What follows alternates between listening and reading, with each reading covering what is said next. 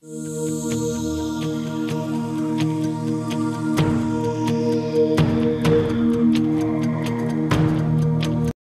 morning, all of you. So, today we are celebrating Republic Day. And on this Republic Day, we are saluting the most great humans of our country, army officers. So, here we have taken the one Major Shaitan Singh Bhati. Major Shaitan Singh was born on 1st December 1924 in a Rajput family of Bhati, clan in Banasar village, Jodhpur district, Rajasthan. His father was Lieutenant Colonel Hem Singh, served in France with the Indian Army. Shaitan Singh studied in Chopasani Senior Secondary School, Jodhpur. At the school, he was known for his skills as a football player.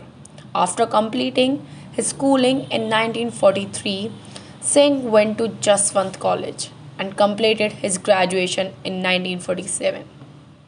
On 1st August 1949, he joined the Jodhpur State Forces as an officer. He is a great human.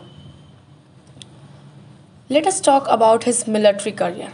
After the princely state of Jodhpur was merged into India, Singh was transferred to Kumaon Regiment.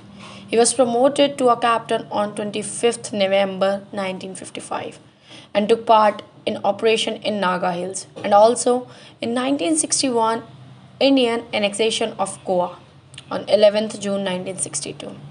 He was promoted to the rank of major. In 1962 Sino-Indian War, there had long been disagreement between India and China over borders. Major Shaitan Singh took participate in that too.